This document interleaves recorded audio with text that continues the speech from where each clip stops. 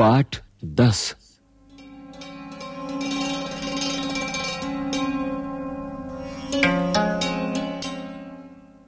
नीम।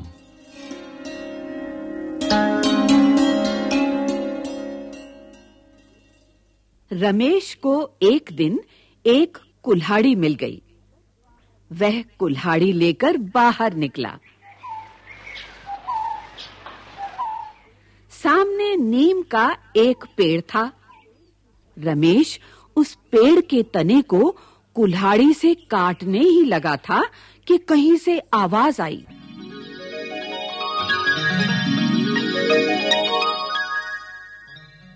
उसे बड़ा आश्चर्य हुआ, क्योंकि आसपास कोई न था।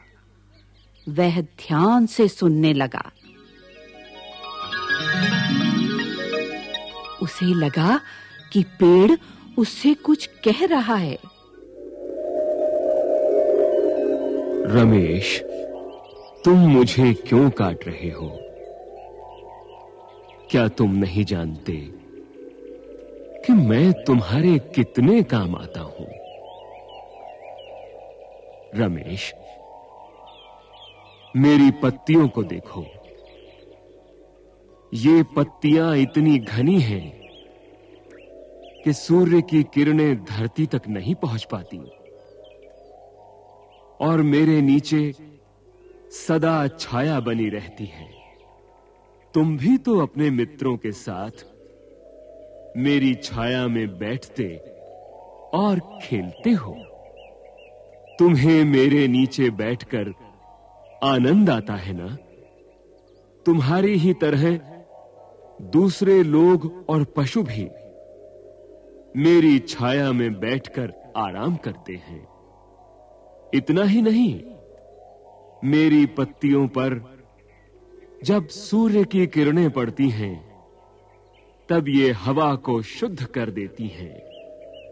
तुमने कभी किसी को गर्म कपड़ों के संदूक में मेरी सूखी पत्तियाँ रखते हुए देखा है? क्या तुम जानते हो? वे ऐसा क्यों करते हैं?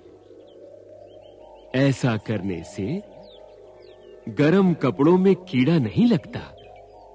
मैं किसान के अनाज की भी रक्षा करता हूँ। अनाज में मेरी सूखी पत्तियाँ रख देने से उनमें कीड़ा नहीं लगता। मेरी सूखी पत्तियों को जलाकर धुआँ कर दिया जाए तो मच्छर भाग जाते हैं।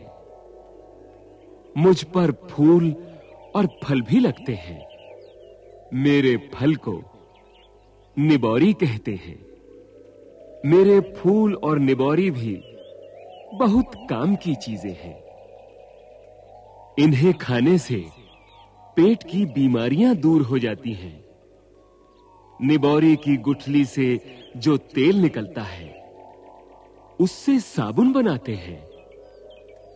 निबौरी की गुठली का तेल और इस तेल से बना साबुन फोड़े फुंसियों को ठीक कर देता है। बच्चों को फुंसियाँ बहुत तंग करती हैं। अगर फुंसियों पर मेरी छाल घिसकर लगा दो तो ये फुंसियाँ ठीक हो जाएँगी।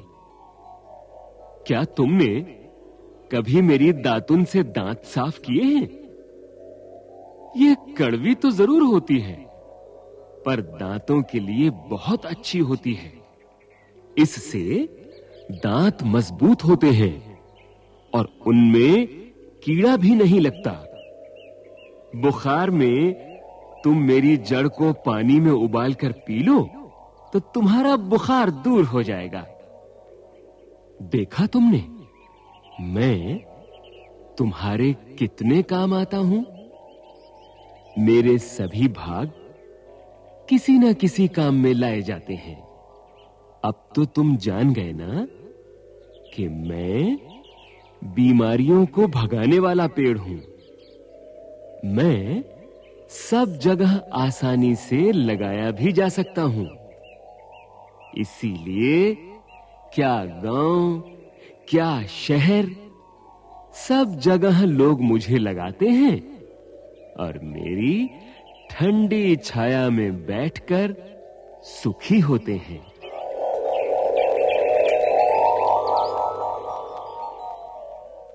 नीम की ये बातें सुनकर रमेश को बड़ा आश्चर्य हुआ। वह सोचने लगा कितना अच्छा है यह नीम का पेड़। और मैं इसे काट रहा था।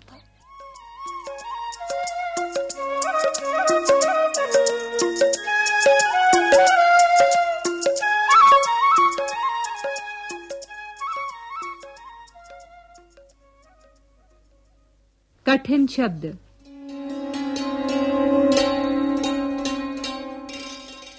कुल्हाड़ी। कुल्हाड़ी। कराहना। कराहना। आनंद। आनंद। संदूक। संदूक। शुद्ध। शुद्ध। निबौरी। निबौरी। फोड़े फुंसियाँ। फोड़े फुंसियाँ।